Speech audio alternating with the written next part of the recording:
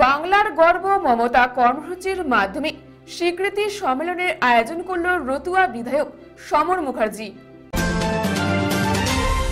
বাংলার গর্ব মমতা কর্মসূচির মাধ্যমে স্বীকৃতি সম্মেলনের আয়োজন করল রতুয়া বিধায়ক সমর মুখার্জি। দলছুট পুরনো নেতা নেত্রীরা যারা বাড়িতে বসে গিয়েছিলেন অভিমান করে, সেই সমস্ত তৃণমূল নেতা কর্মীদের আবার দলে ফিরিয়ে এনে সম্মানিত করা হয় স্বীকৃতি সম্মেলনের মাধ্যমে। এদিন বিকেলে রতুয়া থানার শামসি নিয়ন্ত্রিত বাজার সমিতির সভা কক্ষে স্বীকৃতি সম্মেলন অনুষ্ঠান অনুষ্ঠিত হয়। এই অনুষ্ঠানের বিধায়ক সমর মুখার্জি ছাড়াও উপস্থিত ছিলেন। ব্লক সভাপতি মোহাম্মদ সাজ্জাদ।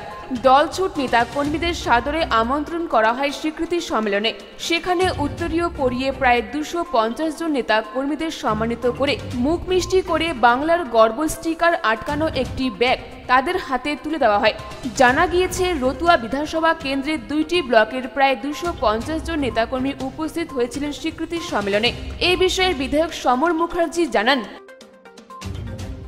কতজন যারা দল ছুট ছিল কাদেরকে ডাকলেন, আবার কীভাবে সম্মেলনটিতে করলেন?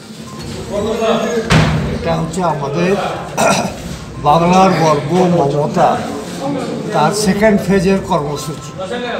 পনেরো তারিখে গোটা পশ্চিম বাংলায় হয়েছে। যেহেতু আমার একটা পারিবারিক কারণে আমি থাকতে পারি আমি ওটা আজকে সতেরো তারিখে করলাম। তো সেকেন্ড ফেজ প্রথমে আমরা সংবিধানটা কি? সংবিধান।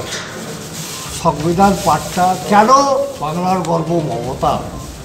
তার প্রথম কথা হচ্ছে যে এই যে ভারতের সংবিধানটা জানা দরকার। এখানে দল, মত, ধর্ম নির্বিশেষে আমরা ভারত, আমরা বাঙালি। যেটা উনি বলতে চেয়েছেন আমাদের নেত্রী মমতা ব্যানার্জি, সেটা আমরা প্রথমে শুরু করলাম। আমাদের তিনটা।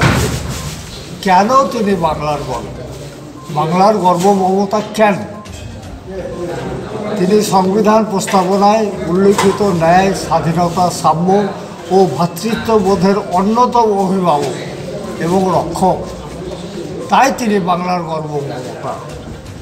তিনি বাংলার সংস্কৃতি, ঐতিহ্য ও মর্যাদার ধারক ও বাহক এবং অভিভাবক। তাই তো মমতা বাংলার গর্ব।